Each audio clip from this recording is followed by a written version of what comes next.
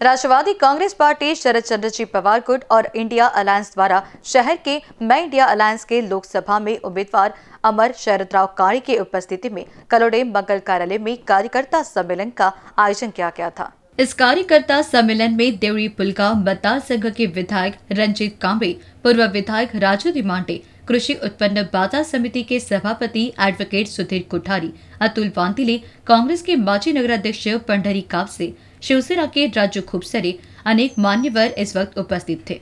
आज संपन्न सम्मेलन में स्थानिक और ग्रामीण क्षेत्र के पदाधिकारियों एवं कार्यकर्ताओं ने बड़े प्रमाण में उपस्थिति दर्शाई थी। इस वक्त उपस्थित मान्यवरों ने लोकसभा चुनाव में जीत के लिए कार्यकर्ताओं को मार्गदर्शन करते हुए अमर को जीत के लाने का अनुरोध किया।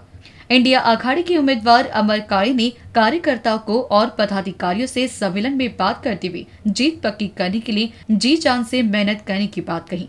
इसके लिए मुझे आपका साथ चाहिए, तभी जीत पक्की हो सकती है, ये भी बात कही। सेंट्रल आहेत, सेंट्रल संबंधानं जो जिल्ह्यामध्ये करू शकतो, त्याचा पूर्ण अभाव मागच्या दहा वर्षामध्ये या जिल्ह्यामध्ये कारण की स्पष्ट बहुमतामध्ये भारतीय जनता पक्षाचं सरकार असताना आणि दहा वर्ष भारतीय जनता पक्षाचे खासदार या जिल्ह्यामध्ये असताना सेंट्रल गव्हर्नमेंटच्या ज्या स्कीम्स त्यांनी इथे इम्प्लिमेंट करायला पाहिजे होती. गव्हर्नमेंट तुमचं फुल याच्यामध्ये असताना ज्या पद्धतीनं उद्योगाची निर्मिती या ठिकाणी करण्याच्या संदर्भात त्यांनी काहीतरी प्रयत्न करायला पाहिजे होता. रेल्वेचे काही इश्यूज आहेत ते पूर्ण करण्याकरता त्यांनी प्रयत्न करायला पाहिजे होता. या सर्व याच्यामध्ये सन्मान्य खासदार हे टोटल फेल्युअर राहिलेले आहे आणि दहा वर्षामध्ये केंद्र सरकार ताकदीनं सोबतीला असताना सुद्धा इथं जो विकास त्यांना अपेक्षित होता या मतदारसंघातल्या लोकांना तो इथं कुठंच दिसत नाही आहे. त्यामुळं टोटल फेल्युअरचे हे दहा वर्ष राहिले असं मी समजतो.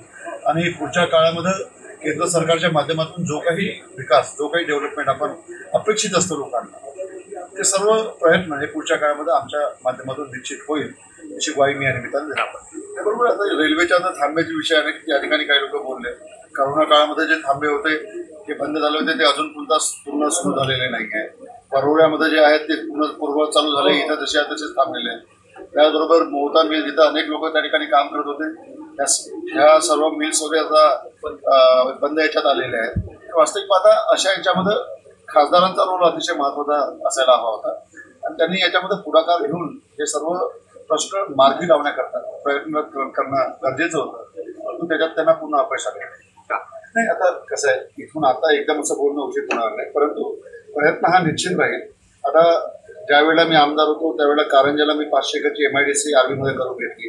आमचं विजन एकच होतं की कारंजापासून नागपूर साठ पासष्ट किलोमीटरवर आहे. तिथं मिहान आहे. मिहानसारखा प्रकल्प नागपूरला आहे. आणि अशा याच्यामध्ये कारंजाला जर एक एम आय डी सी आपण जर केली तर एक चांगली feasible M I D C तिथं होऊ शकतं. नागपूरच्या आणि मिहानच्या दृष्टीने एक चांगली डेव्हलप आपण एम आय डी सी करू शकतो. मग पाचशे एकरची एम आय डी सी आमदार असताना मी मंजूर करून घेतली. आता या उद्योग आणण्याकरता सामूहिक प्रयत्नांची सुद्धा आवश्यकता असते. आणि योगायोगानं इथं तर सरकार राज्यामध्ये सुद्धा बीजेपीचं होतं केंद्रामध्ये सुद्धा त्या ठिकाणी बीजेपीचं सरकार होतं. अशा याच्यामध्ये त्यांच्या त्यांचं विल पॉवर जर असतं थोडं इच्छाशक्ती जर असती इच्छाशक्तीच्या माध्यमातून निश्चित या ठिकाणी काही ना काही उद्योग हे निर्माण होऊ शकले असते. परंतु कुठलेच उद्योग या दहा वर्षामध्ये निर्माण झाले नाहीये. आणि पुढच्या काळामध्ये निश्चित हा जो आहे कारण की रोजगार हा अतिशय महत्त्वाचा विषय आपल्या देशातला आहे. बेरोजगारांचा विषय अतिशय महत्त्वाचा आहे. त्यामुळे रोजगार निर्मितीच्या दृष्टीनं कसे मध्ये कशा पद्धतीनं मोठे उद्योग आपल्या मतदारसंघामध्ये आणता येईल त्याचा निश्चित प्रयत्न आमचा राहील. एनबीसी न्यूज के लिए हिंगन घाट से रवि येनरकर की रिपोर्ट.